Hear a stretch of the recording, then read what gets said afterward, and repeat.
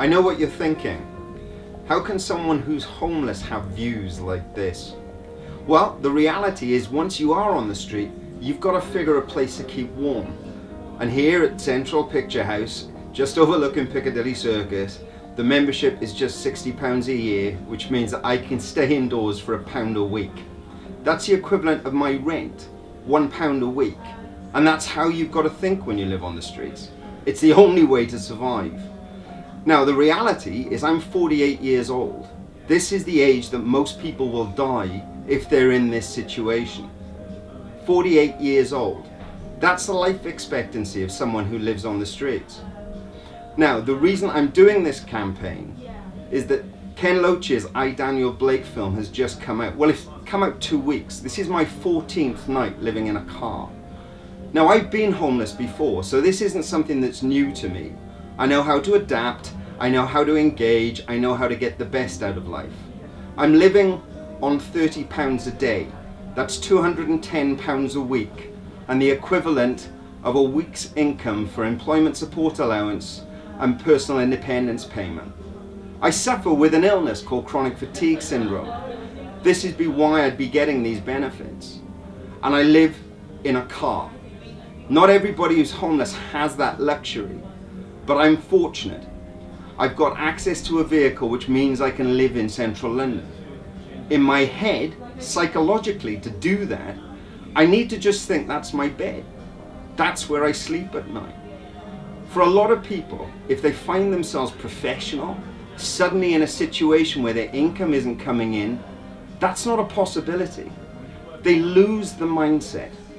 So every fortnight, I'm going to be recording one of these vlogs to explain to you exactly what it's like to live in a car, what it's like to survive on the streets, how we'll get through each day and every day. And hopefully, slowly, as you begin to understand just how hard this is to do, you'll start caring. And the more you start caring, the more I hope you'll start engaging. You'll start watching films like I, Daniel Blake, start reading the newspapers with an entirely different viewpoint. When you see those benefit hating stories, you'll start asking your question, well, was that family really done anything wrong? When the Nigerian family last week were placed in a, a four bedroom home, there were 10 of them living in a two bedroom home, and there are now 10 of them living in a four bedroom home. If you live in London, £500,000 will get you a shed it is not a lot of money. Blasted across a headline, suddenly people who haven't done anything have been given a half a million pound house. Sounds terrible. But that wasn't the story. The story was someone training to be a nurse who in his spare time is a carer, who has a cultural uh, identity to have a large family, has been moved from one piece of accommodation to another piece of accommodation to be, well, human. And that's really what I want you to think about all the time. How do we be human? Ken, in I, Daniel Blake, looks at the DWP and says these people are evil. There's been a lot of backlash going, well, no, they're not. They're just working. They're just doing their job. Let me tell you right here, right now, no, they're not just doing their job. In fact, more often, they're breaking their own policy to achieve evil outcome. How do I know this? I've worked for them. Not in its current incarnation as the DWP, but as it was previously, the Department of Health and Social Security. And even then, and that's going back 20 odd years ago, in 1986, even then, there was an inherent need for the staff there to be nasty to the people who were coming into our offices. And they came from vulnerable backgrounds. They came from environments where their children couldn't be fed if they didn't get money. I quit. I couldn't take the attitude.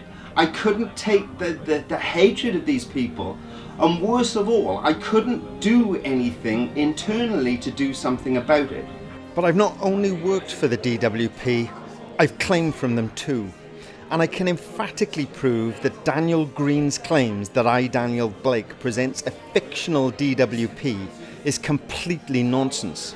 I've endured everything highlighted in the film during my claims for ESA and incapacity benefit, including having my benefits unreasonably suspended for nearly a year. In fact, if it wasn't for the intervention of Private Eye magazine, I would have starved to death or committed suicide. This is my first opportunity to make myself public and to address the problem at its very root. And that's what I intend to do. I'm going to endure living in a car for a year. 365 nights on the streets here in Zone 1 in central London. For every night I do this, it is going to be a damage to my health. For every day I can't afford to eat properly, it's going to be damage to my health. But I would rather do that so I can talk to you about exactly what I'm going through than allow another day of someone to be berated because of circumstances they got into that was no fault of their own.